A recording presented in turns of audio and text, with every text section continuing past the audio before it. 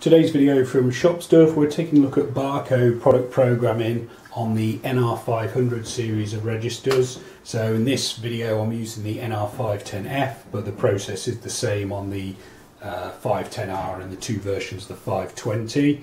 Um, so I've got a Hornet barcode scanner set up and configured to work with the register.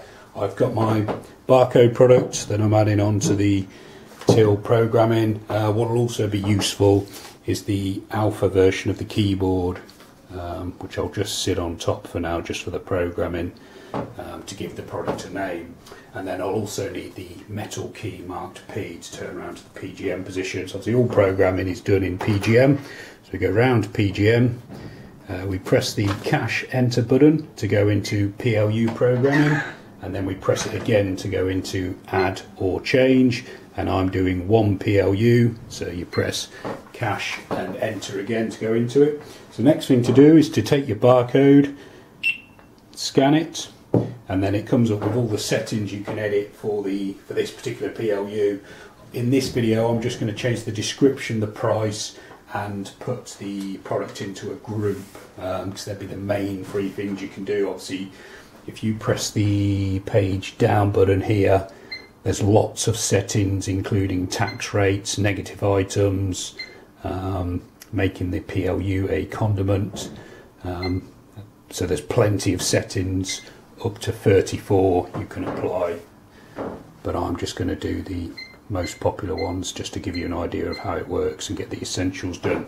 So when you first scan the barcode it goes into page one of the settings and we want to go into the description to start with which is already highlighted.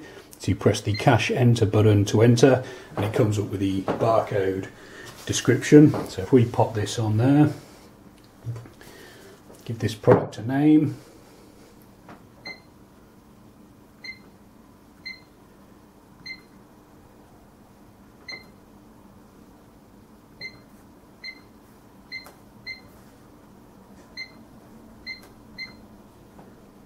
You've got, if you make a mistake, there's a backspace button here. Once you've typed in your description, it's cash enter to save, and that will bring you back to the main settings. So we can see the descriptions saved in there nicely. Arrow down to the price, so check is the arrow down key. Cash enter to go into it. We've set our price. No need to enter the decimal point because the till will put that in automatically for you. And then it's the cash enter button to save. Uh, if we arrow down, we're going to have the um, button set to, or the PLU set to a preset. You can have preset override, which is on there as standard. I'm going to take that off because I don't want to allow that. So you arrow down once to change it to N for no. Cash will save it. So you can see that preset override is now set to no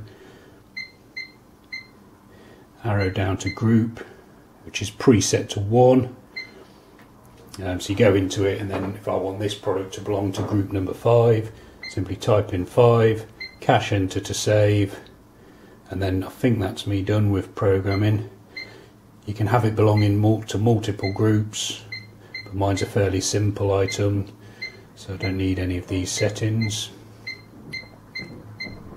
Once you're done with the programming, you press the clear button to come out and then you can either now scan another barcode product and program that in exactly the same way or you can press clear again and again and again to come back to the main program screen from here you can turn the key round to the reg position and then the next time we scan our barcode product it'll come up with the description and the price as programmed. Hope that video has been helpful. Uh, you can subscribe for more or visit shopstuff.co.uk. Thanks for watching.